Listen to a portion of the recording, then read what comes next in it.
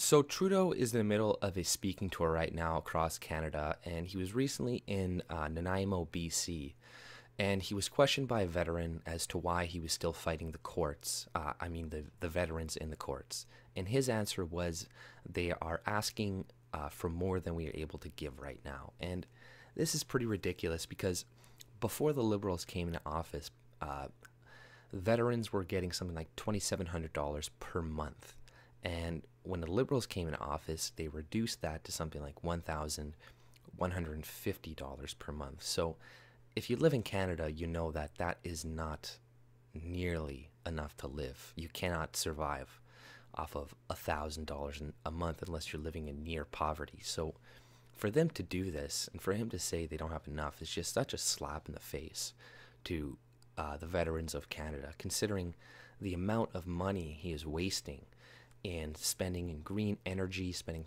billions of dollars investing in other countries like China. He's spending billions of dollars relocating refugees into Canada. He was he was questioned, and I think a different province as well, as to uh, why, what is what is he going to do about ISIS? And why he, he is bringing these people in. And his answer was, oh, well, back in the day, Italians were discriminated against and we weren't really sure about them, but eventually they integrated, and Canada is a place of diversity, and, you know, just the typical bullshit liberal lines, not really directly answering it. And it's just fucking bullshit. Like, he's just doing everything he possibly can to spit in Native Canadians' faces while he's helping people from all over the world, or not even really helping them, but just throwing money at them.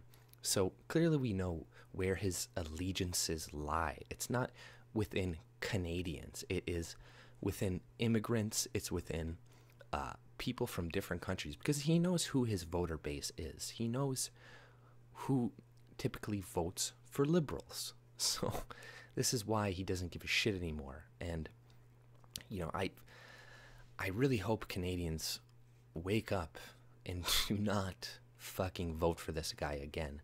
But our media is so corrupt and we are it is completely funded by the liberals and there's all these new things because our media in Canada is having a lot of trouble as well these newspapers all this shit now all, they're all going to start getting grants from the government to uh, sustain their business because they, they're no longer competitive anymore. You know, their their newspapers are going out of business. This is the same in a lot of different countries. So the state is coming in to fund them. And do you think that the C- CBC and all the Canadian media that is getting millions and millions and millions of dollars every year from the Liberals are going to say anything negative about them? No, they are not. This is the problem with state run media. And this is why we should not have it.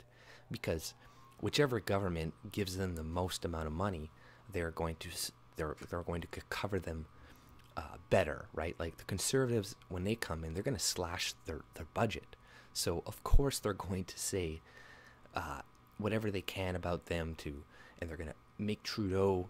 They're going to put him in the best light and make him seem like a good leader. And Canadians don't pay attention that much to the news, so they're going to read stuff sporadically and they're going to be like, oh, he's doing a pretty good job and this and that. But like, man, like he's bringing in ISIS members and he's le- he's he's to legitimize he's saying like, oh, well, you know, people they come in from all walks of life and they'll eventually integrate. It's like, no, man, these people will not integrate.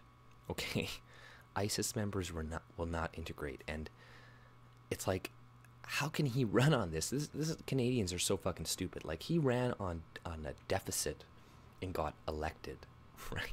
He's like, oh, we're gonna run deficits and all this shit, and then his deficits are three times the size that he ran on. He's like, oh, we're gonna do a modest deficit, ten billion dollars every year, and a deficit is different than a debt. Okay, so that's what people have to realize as well.